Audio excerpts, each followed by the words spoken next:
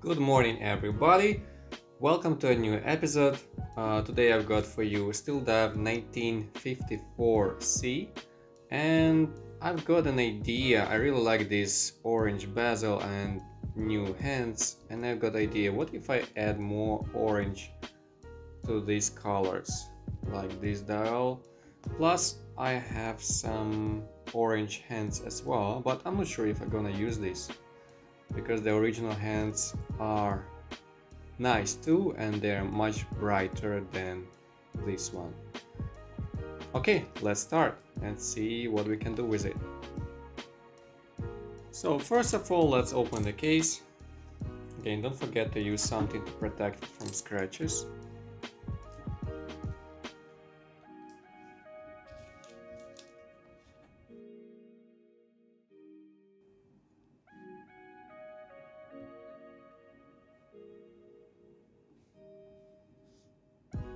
Let's take the movement out from the case. In every video I show you how to do it correctly because if you if you make a mistake here you're gonna screw up with the keyless system here and then you have to disassemble the whole movement it is a very boring and long process yeah so when you pull the crown out make sure you press and hold on this tiny spot where I point right now.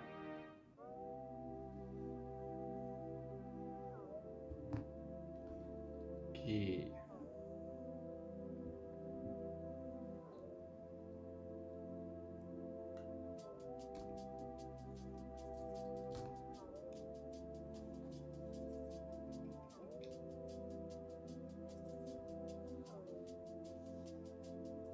Wow, it is really beautiful dial and hands. I, I don't really want to change it, but I really like that orange bezel and I think it might be something cool if I combine the orange dial plus bezel. Let's see, not sure.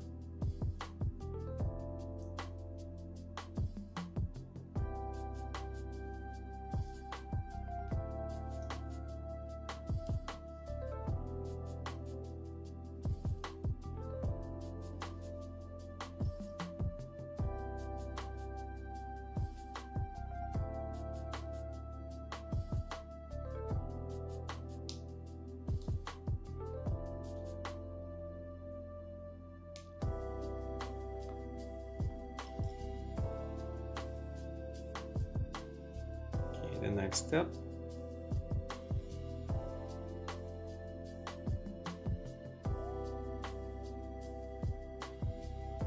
Check out the new dial.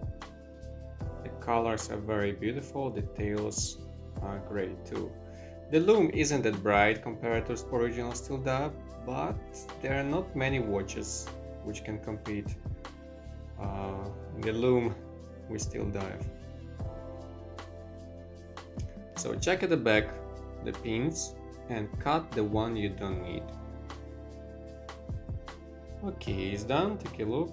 I polish it slightly so there is nothing left on the dial.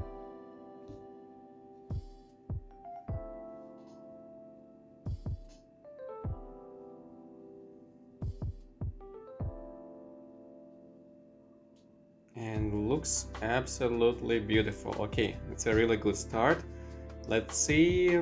Now i'm gonna try to put the hands see which one is better. Okay so right now gonna be the hardest part. I have to choose between two sets of hands. Um what do you think guys? Should i keep the original one or put the same? Actually a little bit darker orange and the lume should be weaker than original hands. Hmm, it's a hard decision. Okay, let's try to put it on the dial and let's see which one looks better. Okay, so I won't put it straight on the dial because I don't want to accidentally scratch the dial.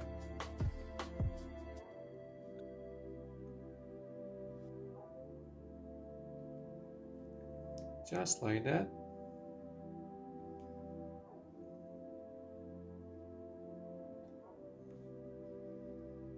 What do you think, guys? Unfortunately, I cannot hear your answer. But should be something like this. I think it's good, but let's try another set.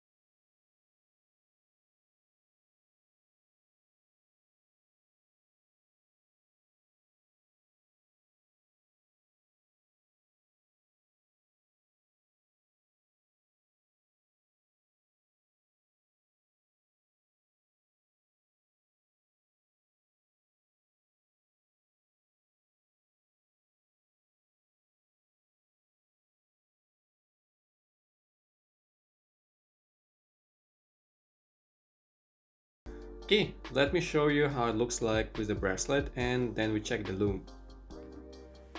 Here you go, the final result. Looks absolutely beautiful. Yeah, so shortly about the, the specs of this model. Um, the case diameter is 41 millimeters, so it's suitable for most of people. Um, the bracelet size 20 millimeters, uh, the thickness uh, as I remember is like 13 millimeters or 12.5 uh, then this model has Seiko NH35 movement ceramic bezel with uh, with the lume you're gonna see it later. Uh, then sapphire glass and 200 meters waterproof. Here is the Steel Dive logo at the back the bracelet. Upgraded clasp the new one and yeah about the waterproof be sure it is waterproof. Before i seal it i use silicone grease for all the gaskets so it remain its waterproof qualities. And let's check the lume and as you can see the lume is pretty good as well. The hands are much brighter than dial markers but at night it's gonna be uh, visible for sure Thank you for watching and see you in my next videos. Don't forget to put like and subscribe to my channel. Thanks again and see you. Goodbye. Have a nice day.